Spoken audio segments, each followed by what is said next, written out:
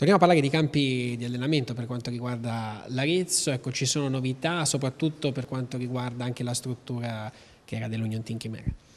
Allora, per l'Union Team Chimera c'è un fallimento in corso e delle trattative proprio di queste ore tra l'amministrazione comunale e il tribunale per riprendere in possesso e, oltre che in proprietà quello che è l'immobile che era della Union Team Chimera, quindi sia le caselle sia Prato Antico, per due motivazioni. Uno perché tenere un impianto chiuso è dire, un elemento di grande eh, problematicità, due perché in un momento in cui le società giustamente pressano per avere spazi, avere due impianti chiusi diventa anche un elemento di grande eh, imbarazzo da parte di chi è proprietario ma non ha la disponibilità ad aprirlo. E le due cose stanno insieme perché è chiaro che questa possibilità di nuovi spazi ci potrebbe dare l'opportunità di eh, indirizzare la prima squadra, e cioè eh, l'Arezzo, nella sua parte diciamo così professionistica proprio in queste due o in una dei due eh, impianti che stiamo cercando di riprendere, che io conto di riprendere, in, almeno di riprenderli in possesso nel giro di poco tempo. Poi vedere come sono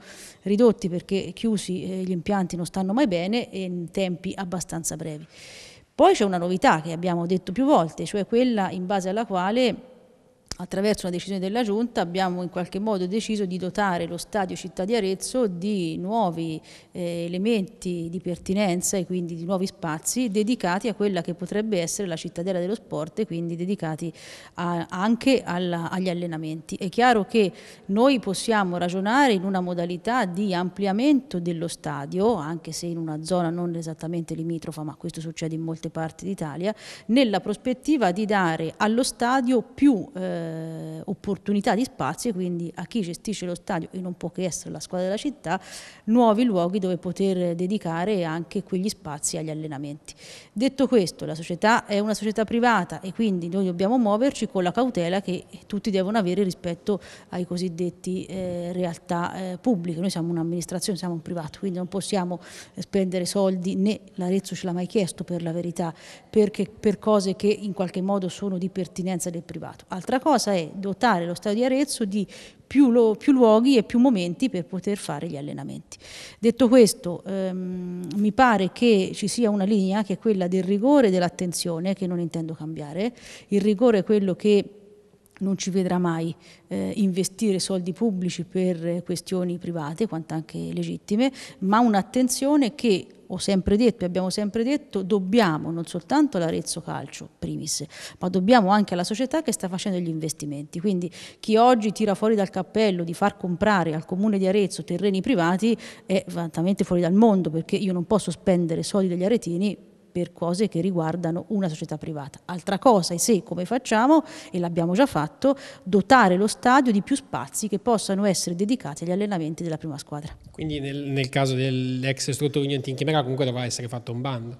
o no? Mm, non necessariamente, nel senso che noi adesso puntiamo a riprenderlo, possiamo anche darci un anno di moratoria di gestione diretta e successivamente fare un bando, anche perché quell'impianto va completamente analizzato rispetto ai beni ma anche a ipotetici abusi che potrebbero esserci, quindi non lo sappiamo, non lo gestivamo noi. Quindi sono due partite diverse che stanno insieme. La partita di Liontin Chimera è una partita che sta rispetto a una società che è stata dichiarata fallita e quindi questa amministrazione intende riprendere il possesso di quei beni affinché possano essere rimessi a disposizione della città. Tra la città c'è, sportivamente parlando, ovviamente l'Arezzo Calcio, che è in questo senso uno dei primari interessi della città di Arezzo. E per Sant'Andrea Pigli invece, che era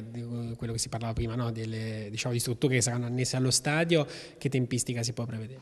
Sant'Andrea Pigli è una tempistica non breve perché come tutte le cose serie ci vuole tempo per farle, cioè qui noi non vogliamo trovare soluzioni farlocche o soluzioni immediate che però rispondono all'emergenza. L'emergenza c'è e questo è un fatto e la affrontiamo con gli atteggiamenti dell'emergenza. Dopodiché c'è un altro fatto, e cioè che lo stadio in questo momento non ha gli spazi per gli allenamenti allenamenti della prima squadra, che non si risolve in un giorno ma si risolve con un investimento nostro, che significa ampliare lo stadio, e della società che sugli investimenti ha dimostrato di esserci, perché questo è sotto gli occhi di tutti, nel tempo. Ora io credo che siano veramente molti anni che questo problema si pone e non si può pretendere che si risolva in un anno, si può pretendere che in un anno si metta a fuoco e questo l'abbiamo fatto.